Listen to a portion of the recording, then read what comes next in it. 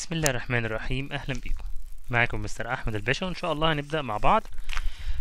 lesson number 1 في chapter number 2 um, ده theme number 2 um, وإحنا هنبدأ chapter جديد. ال chapter ده اسمه helping my habitat وإحنا عندنا هنا كلمة مهمة جدا اللي هي كلمة uh, habitat الكلمة دي كلمة uh, من الكلمات المهمة جدا.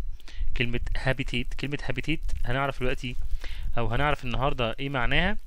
آه و helping طبعا يعني مساعدة مساعدة my habitat أو helping my habitat معناها مساعدة الموطن بتاعي. كلمة habitat معناها البيئة أو المكان اللي أنا عايش فيه أو الموطن اللي أنا عايش فيه. كل واحد فينا آه عايش في مكان والمكان ده آه يعتبر هو الموطن بتاعه ال البيئة بتاعته. بمعنى أصح إحنا في ال chapter ده ان شاء الله هنتكلم مع بعض على البيئة بتاعتنا وبتتكون من إيه وازاي نحافظ عليها وهكذا.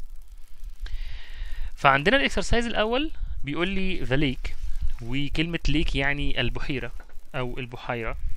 وال activity الأول activity سهل جدا هو عاوزني إن أنا أعمل color. بيقول لي هنا color the following picture يعني عاوزني إن أنا بكل بساطة أقعد ألون الايه ألون الرسمة دي وألونها بالشكل اللي أنا شايفه هيكون حلو. آه كل واحد بقى يقعد يلونها مع نفسه يعني كل واحد هيقعد يلونها طبعا الأفضل إن أنت لما تلونها تلونها بألوان حلوة وتقعد كده تتسلى وتعملها بالراحة وت إيه وتلون بقى الايه الشجرة مثلا بالجرين تلو... مثلا هنا أهو دي دي كده تبقى مثلا بالجرين هنا كده مثلا أهو صح؟ و بقيه. كل حاجة تاخد لونها يعني كل حاجة يكون ليها اللون بتاعها ماشي؟ يعني إيه تحاول أنت تكون دقيق في الألوان بتاعتك وتكون شاطر في تلوين البحيرة دي. طبعا دي صورة لبحيرة ماشي لليك كلمة ليك يعني بحيرة.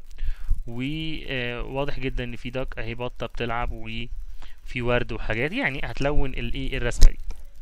طيب خلينا نروح ل activity تاني.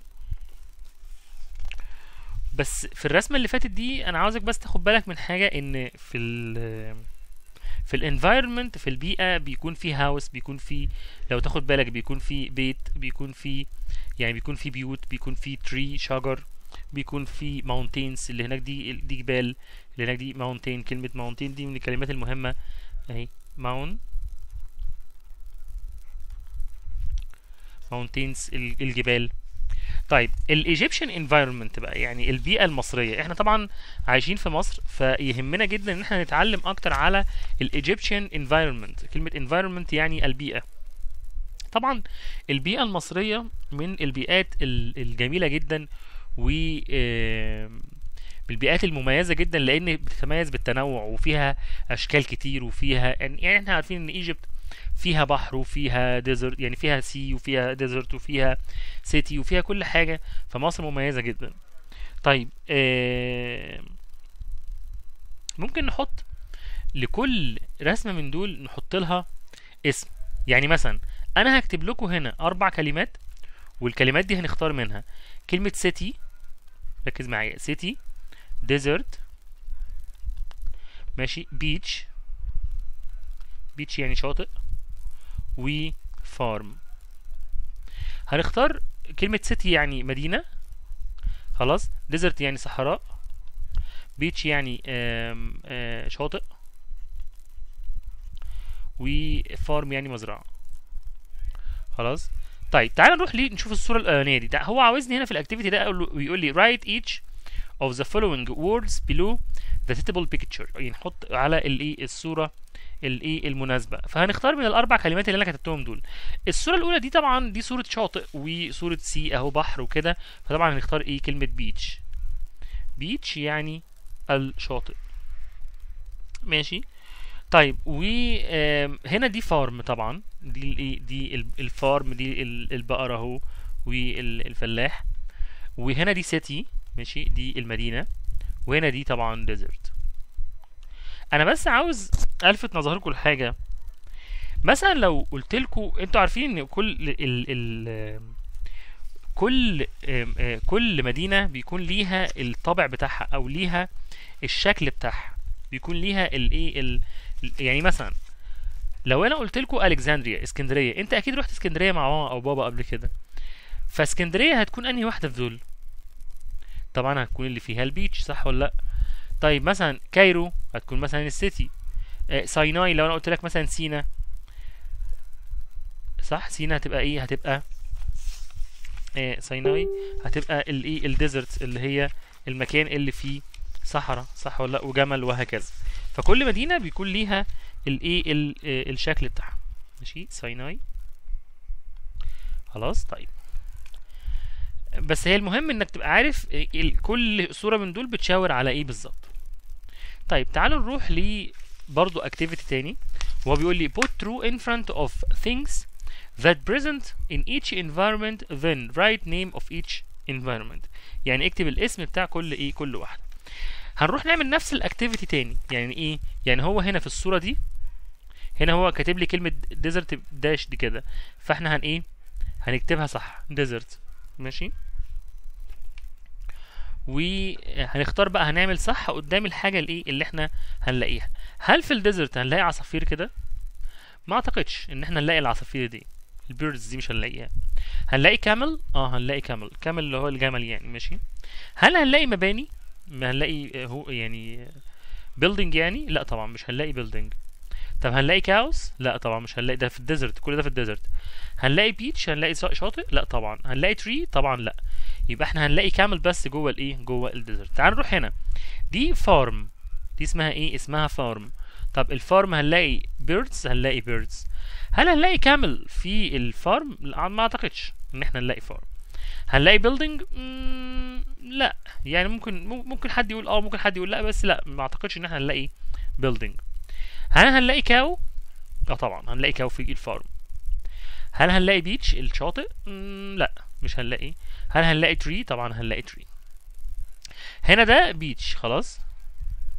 هسيب لكم ال beach وهسيب لكم ال city ماشي؟ تحلوهم أنتوا. خلاص؟ هتقعدوا تحاولوا ان أنتوا إيه تقعدوا تحلوهم وتشوفوا. الحاجة اللي موجودة هنعمل قدامها true الحاجة اللي مش موجودة هنعمل قدامها إيه؟ هنعمل قدامها false ماشي؟ طيب تعال نروح لل activity اللي بعد كده. وهو آه، بيتكلم على ثواني.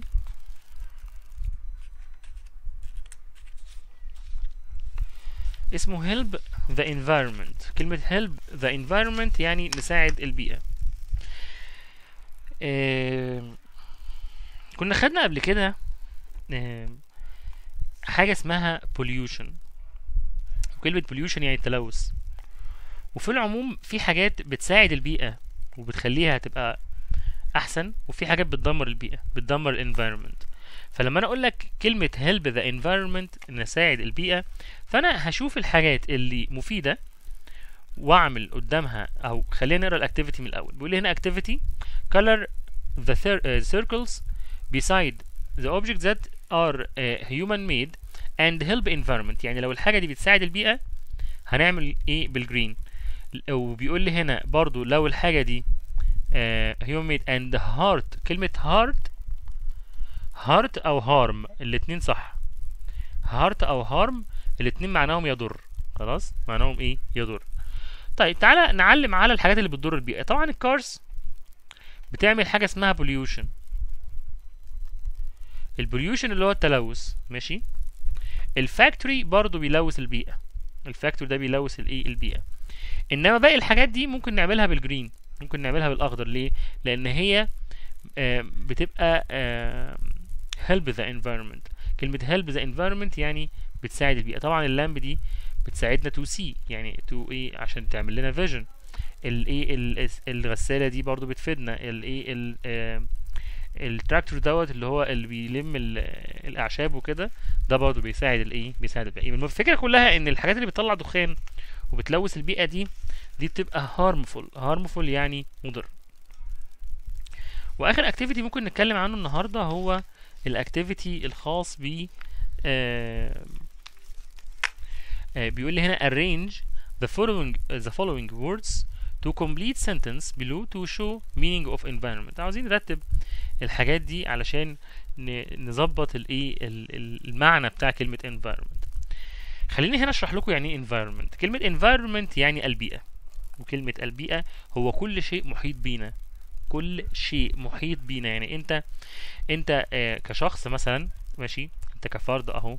انت حواليك إيه؟ حواليك عصافير مثلا حواليك طيور وحواليك مثلا آه، شجر ماشي وحواليك ال sun الشمس وحواليك ال street يعني في شارع وفي ناس تانية. كل الحاجات دي هي البيئة. كل شيء حواليك هو ال environment environment يعني البيئة. انت كل شيء انت عايش عايش جواه هو ال environment الشارع اللي انت عايش فيه وال- وال- والمدينة اللي انت عايش فيها والبلد اللي انت عايش فيها. دي ال environment فاحنا لما بنيجي نعرف الانفايرمنت بنقول إيه؟ environment is ماشي surrounding خلاص بنكتب كده is ركز معايا. إحنا المفروض نرتب الكلمات دي. خلاص نرتبهم. فدي رقم واحد. th- uh, surrounding. خلاص. or دي رقم اتنين. conditions. condition يعني الظروف. خلاص. in which دي دي رقم 3 in انت هتكتب ورايا ها؟ in uh, which a person animal دي number 4 ها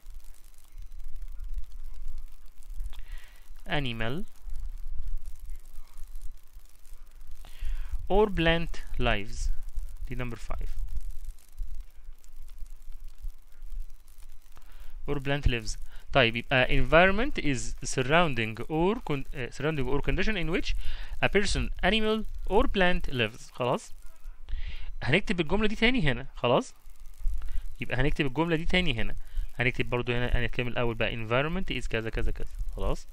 ده كان activity أو lesson number 1 في ال chapter number 2 هو activity مهم جدا ومهم جدا إنك تكتب ال ال الجملة دي زي ما أنا قلتها لك كده وتبتدي تتدرب عليها علشان إن شاء الله تكون مفيدة ليكم. ويا ريت تكتبوا تكتبوا ال sentence بتاعت ال environment دي أكتر من مرة لأن هي مهمة ومفيدة جدا إن شاء الله.